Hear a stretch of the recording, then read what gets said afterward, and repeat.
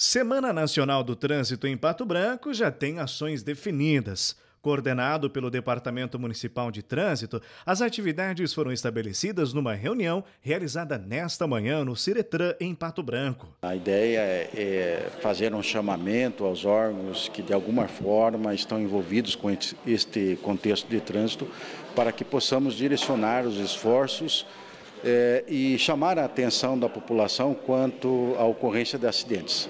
A Semana Nacional de Trânsito estará focada no sentido de dizer à população que ela também é parte integrante neste processo que objetiva a redução de acidentes em nossa cidade e em todo o Brasil. Com as ações definidas, a Semana Nacional do Trânsito de Pato Branco tem data para acontecer. As atividades serão desenvolvidas na semana de 16 a 25 de setembro e eh, todas as entidades, órgãos que estão envolvidos neste universo de trânsito eh, farão atividades, desenvolverão ações junto à empresa, junto à comunidade, a fim de eh, chamar a atenção, como eu disse, da população para que ela conjuntamente participe deste processo de diminuição de acidentes. Capitão Batista, comandante da 6 Companhia de Polícia Rodoviária Estadual, ressalta a importância de ações de prevenção no trânsito. A Semana Nacional do Trânsito ela é, vem sendo desenvolvida há anos com a intenção de conscientizar os condutores,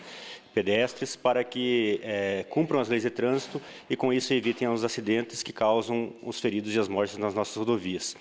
Então, são chamadas várias entidades, né? A Semana Nacional do Trânsito aqui de Pato Branco é organizada pelo Depatran, através do, do seu chefe ali, o Tenente Coronel Dolenga, e, e, engloba vários órgãos de trânsito e também outras entidades relacionadas para que nós tenhamos um trânsito mais seguro no sudoeste do Paraná. Pato Branco registra em média três acidentes por dia. Diretor do departamento conta a que se deve tantas ocorrências. Notadamente, os acidentes ocorrem, em, na sua grande maioria, por conta da ação do condutor. 95% se refere à imprudência é, ou falta de atenção por parte do nosso motorista. É, é, importante também destacar que a frota circulante do município aumentou consideravelmente nos últimos anos.